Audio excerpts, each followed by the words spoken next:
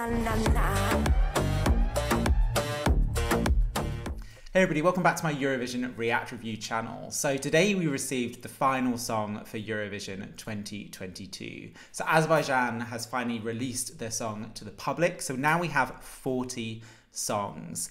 Um, I just want to take this opportunity to genuinely thank my subscribers uh, because, in all honesty, I know this song came out at five, and I know that I could have rushed home and I could have quickly got to my laptop and quickly react to this and get this on my channel.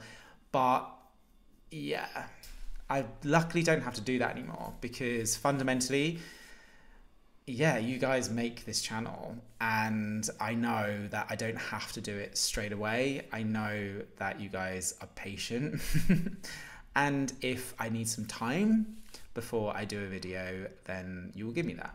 So um, I am eternally grateful for my subscriber base because, yeah, today has not been a great day. And as a result of that, I did need some time. so, yeah, I wasn't able to come home, rush home, and watch this song. Uh, but I'm here now. So, uh, yeah, I'm quite excited to see what Azerbaijan has to offer us. So, before I kind of get into that, I just want to profess a few facts uh, to make this more personable. So, hopefully, I've worked out how to do this. I will share with you what Spotify tells me is my most played songs of all time. Now, this Spotify account I've had for two years, I will say. Think about it for two years. Um, but I had a very long summer in Sicily, and all I did was listen to Spotify, and it was post Eurovision 2021. Um, and hopefully, I'm able to show you. So, this is my top eight. now, if you've logged, you can do this yourself. You can log into my Spotify, mytopspotify.io, and it will tell you. I knew this already because I looked at this kind of a few months ago, but apparently I listened to Mata Hari so much that regardless of how much I'm listening to Spotify at the moment, that still seems to be the song that Spotify tells me I've listened to the most times. So I was a huge fan of Azerbaijan last year. Um, and as a result of that, I am really looking forward to seeing what they have to offer for 2022. Um, because, yeah, Mata Hari was my jam. So let's check this song out.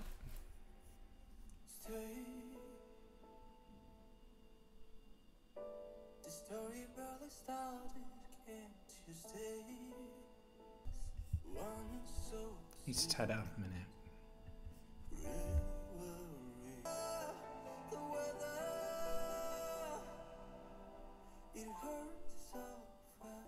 Now, sorry, my voice is going. Um, so, obviously, it's not kind of escaped me the fact that this is obviously a slow song with a male vocal. And I know that fundamentally we are getting that to a very high standard and high level, particularly if we look at Poland. And I personally think, even though I've seen some interesting things on Twitter regarding Australia, I think both of those are strong songs. So yeah, we're one minute in. So I'm hoping in regards to kind of fitting in with the rest of the 39 because we waited some time for this song. Um, so I'm hoping that this song kind of is able to slot into that top 40 and give me something certainly a bit more, not different, but was worth the wait.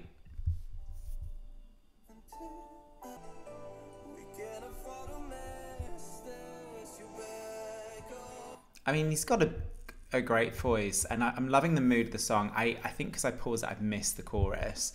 Um, okay, so we're halfway through. Um, I, I think already at this point, certainly with Poland, there was already something going on with that. I was like, oh, I'm not getting winners vibes just yet.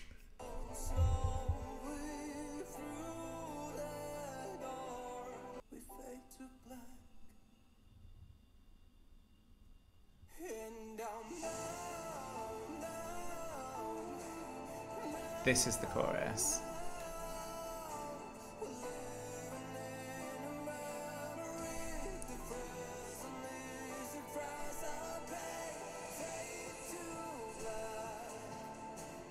I like the rock tone in his voice.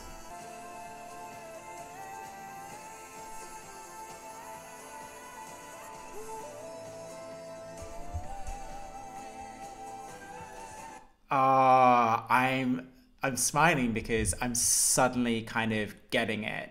And what I mean by that is I'm starting to become in tune with the song. It's taken quite a long to get there though. This kind of final element, this kind of rise in in in rhythm, but more importantly that vocal, you can hear it beforehand. You can hear the kind of quality and the potential in his voice. Um, we have to wait a long time for like yeah. What's a phrase that I can use here? Something popping out of its shell.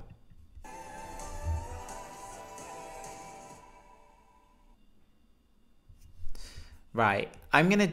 I did this with France um, and I learnt my mistake with the UK. Um, I'm to listen to this one again. Um, even though obviously at Eurovision, 97% of the audience won't have a chance to, mind you, it has to qualify, has to go through the semi, So a lot of people will have heard this at least twice. I'm the reason I'm listening to this again is um, I just want to catch whether there is an obvious uh, chorus, and it's interesting because based on some of the comments that I've seen about Australia on Twitter and the hate that song get it is getting, which I don't get. Not everyone, of course not, but I, I don't know. I don't get it. There's been a lot of stuff that I've seen on Twitter. I think I need to come off Twitter. I think that's probably the solution there. Um, but what's being aimed at that song, I feel, could potentially be aimed at this song. Is there a chorus? And what I mean by that is there a chorus that is infectious, a melody that we remember, etc., etc.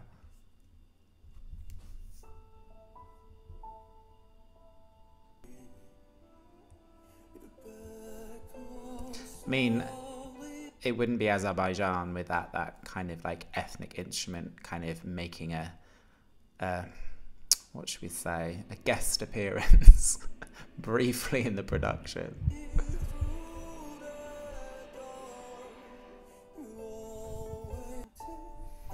You've got to realise we're one minute in. But hold on a minute. Like, we're one minute in, and live, evidently, this guy is packing an insane vocal. So, and again, Azerbaijan has no has been known to knock it out the park with staging. Like if I'm thinking about it, like was it Ching Chingiz? Is that how you say it? That was insane staging. But then some people say last year Mata Hari was bad staging. So well, we know they've got the money. There's no excuse not to kind of back this financially. So that first minute can be wow, and it will be wow based on his vocal and based on how Azerbaijan want to stage this. I don't think the wow is going to come necessarily from the song itself.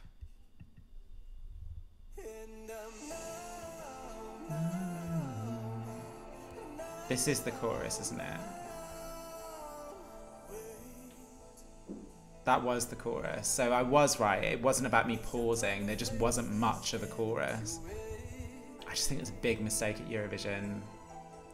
If you've got three minutes, I say this time and time again, you're competing against 25 other songs. They're going to have to rely on an insane vocal, which he can evidently deliver, and great staging, which Azerbaijan have proved they can do. It's such a shame because I think in previous years, like this probably would have stood out more it's just this year. If you. I, I didn't know whether Azerbaijan were holding back slightly just to wait to see what the rest of the countries were delivering and then act accordingly. But I did hear a snippet this morning that basically did suggest that this was going to be slow. So I was expecting a ballad. And it's interesting if you're going to be the last one to release your video and after the kind of like a date. And I, am I'm, I'm assuming they sent the song in on time, but obviously to release it to the public, which would assume that you have left it later than other countries, which is not an issue. It's a good game plan. I would make that game plan.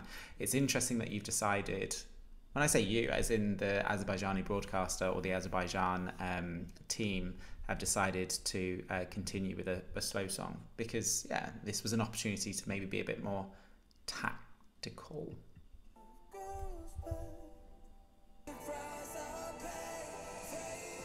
And this is where the song starts kicking in. So we're two minutes 19. And just, and it's not about the melody, it's not about the beat kind of picking up now. It's just me just tuning into this song because oh, by like Australia, you wouldn't say that the beat kind of kicks in and right. Yeah, the beat probably kicks in about now with Australia's song, but there's already something in Australia's song where I'm listening, wanting to know what kind of happens next. I'm slightly worried this song because when the song hits this point, I'm actually quite into it.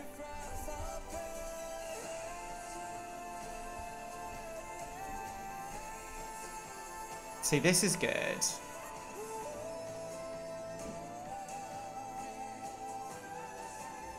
And that's the thing. That will probably be the saving grace, right? A lot of people, when they kind of try and recount songs, particularly in the semi final, if you've got 17, 80 songs and you've got to try and remember back the ones that you like, it's obviously the last third that you remember. And again, countries can be very clever about which part of the song that they put into the recap. I would put this part of the song into your recap. It's interesting because, um, yeah, I'm just trying to think over the last couple of years. So, yeah, so if you think about it, 2014, Dilara Start a Fire qualified in what I perceived to be a worse song. I really wasn't a fan of that song. And then 2015, Elnur, incredible voice. No one is doubting that in the slightest. I just wasn't a huge fan of Hour of the Wolf, but that came 12th in the final. I think this song is better. I think this song is better, but it let's just kind of call it the elephant in the room. This song is competing against a plethora of slow songs this year. So yeah, I've got semi-final 2 up now, and it's just I don't know why. Like if I was Azerbaijan, I'd be a little bit more tactical because I've just seen they're in semi final two. So they are up against Australia and they are up against Poland. So they're in that same semi final. So you can't even say that they might get the kind of ethnic vote because it's not really doing that either. And I think Montenegro is doing that in abundance. Um, I mean, there's not loads of slow songs. I do. I, I think the the fact is, if I was the not the I think Poland is a safe qualifier. If I was the Australian team, I think I'd be sitting back and a little bit concerned. I can't see a scenario where both Australia and Azerbaijan are going to get through. When you take into account Cyprus, which I think is going through, when you take into account Finland, which I think is definitely going through, which you take into account Estonia, which I definitely think is going through. You take into account Sweden, that's a slow song, which is definitely going through. Poland's definitely going through actually this semi is wide open. I've not properly looked at this, these semi-finals, but it would be quite interesting if if we have a scenario where both both Azerbaijan and Australia get through. Um, I think Poland. I think Poland's doing something else. I think it's been very easy up until this point to compare Poland and Australia, but they are two very different songs but I think it is fair to kind of make some comparisons between Australia and Azerbaijan. And in all honesty, on first lesson, listen, which one do I prefer? Australia, but I have seen Australia live and I haven't seen this one live, and I think that's a huge difference. I think this is evidently a song that needs to be performed because I think the selling point of this is probably the singer, Nadir, in all seriousness. With what I could hear at the end of that song, this dude evidently has pipes and so he could be we've we've seen this time and time again right where a song is just kind of meh but then on stage if it's kind of delivered vocally with perfection something then kind of takes something part of our senses kick in right and then we connect with it and we get it but it a bit like rise like a phoenix and i think that's fair like do i listen to conchita rise like a phoenix all of the time no but when I watch it, do I get the same goosebump emotive feeling when I see it? Yes. And because it has that potential, particularly with his vocal, I think let's just hold out some judgment until we see this dude sing this live. And like I said, Azerbaijan, there is no excuse not to send pockets of money behind this one because they've done it in the past. Just take Chingiz's.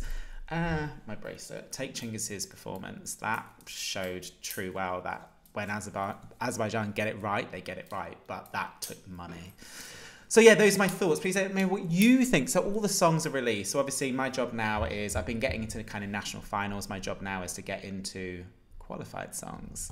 um, and then start ranking them, etc., etc. But that is it. We've got we've got through it. like it was a bad thing.